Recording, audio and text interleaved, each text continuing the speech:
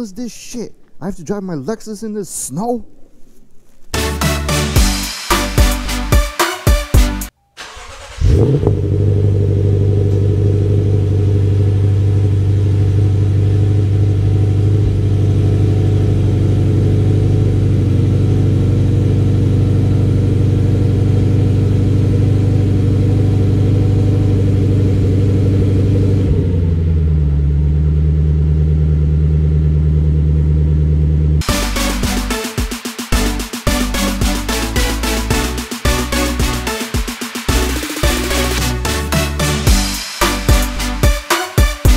Hello, and welcome everybody. In today's video, we are going back to the same dyno that we dynoed the car at before with the muffler delete because I want to see if there is any difference in power with the catback setup from Joe Z.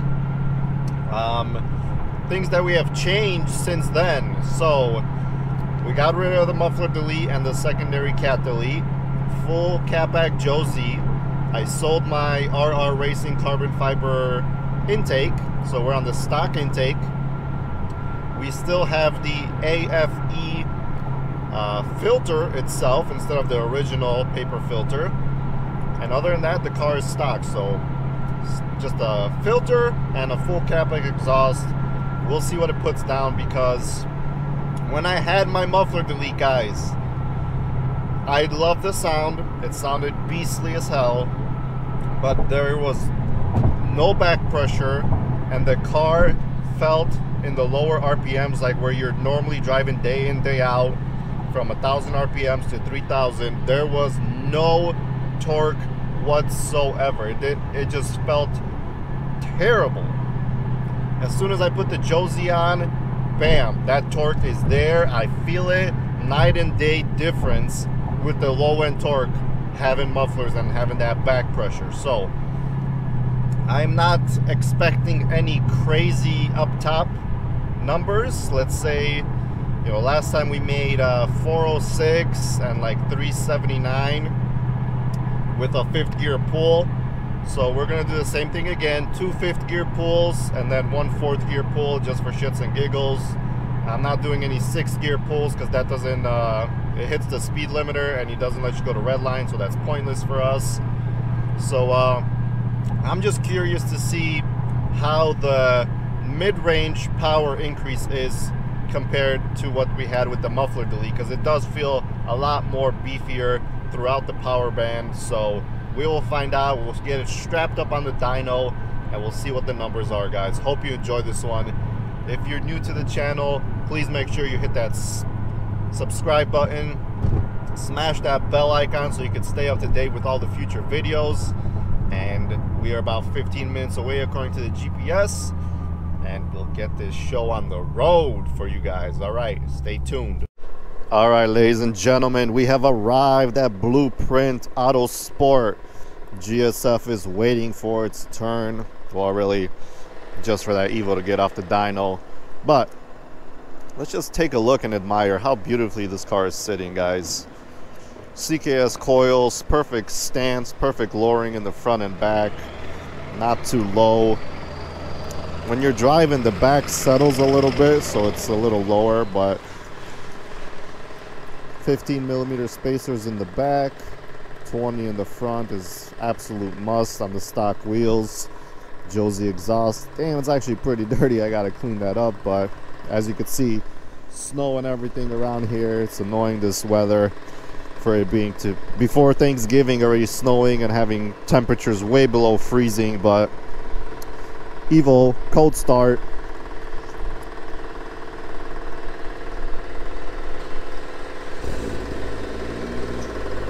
Oh, quiet like a baby.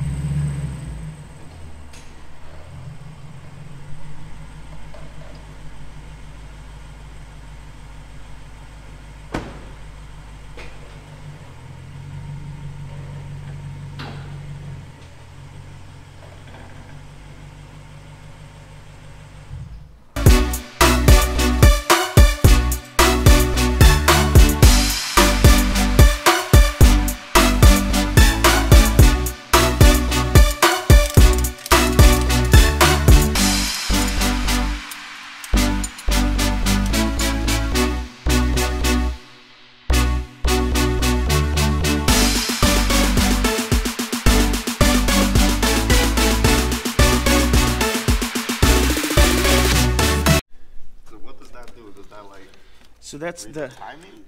yes. Is the is the RPM pickup? So it shows on the monitors what the RPMs are at. Also, and like it it, it uh, measures the torque. Okay. So the torque is actually it it measured like actually how fast the timing pulses, and Uh-huh. compared to that, it can measure the torque. Okay, cool. All right, guys, the car is all strapped up. Last time in fourth gear, it made around 411 horse and 379. He's gonna have that last run to compare to the one we're gonna do today. But we're gonna do the same thing: two five gear pulls and one fourth gear pull. We're not doing six gear pulls, like I said, and we'll see what it puts down. We will see, and we're gonna do runs from 3,000 RPMs because last time we did it from a little higher 44 and a half so i could see what it does a little lower down. So i'll probably have this camera posted here so we could get you some exhaust clips and then i'll be filming with my iphone on the screen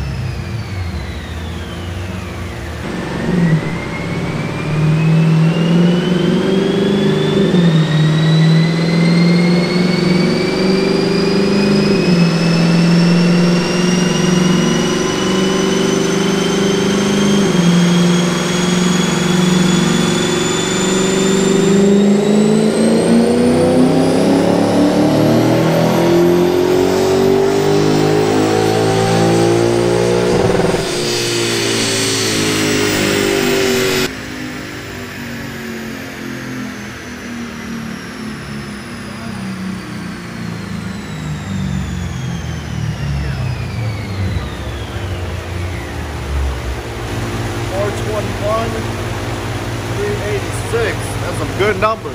So now we're gonna do a fourth gear pull. Hopefully see even higher numbers, and that's what realistically where we're doing our pulls, third, fourth, fifth gear.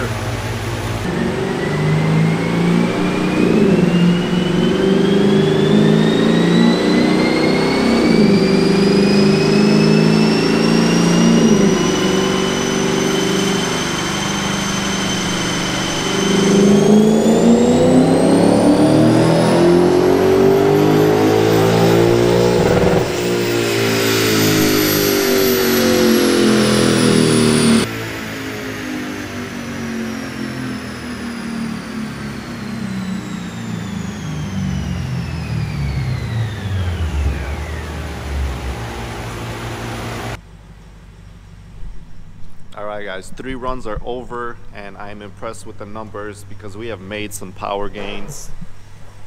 So the first pull, fifth gear, 412, 376. Second gear, fifth gear, 421, 386. And then the last pull, fourth gear, 425, and torque drop 371. But that is some impressive numbers. Catback actually made a difference with a stock intake instead of the aftermarket one super impressive. Thank you to Blueprint Autosport for always hooking it up with a good dyno. All right, three pull, three dyno pulls later, we are finished. On the way back home, gonna go to the gym.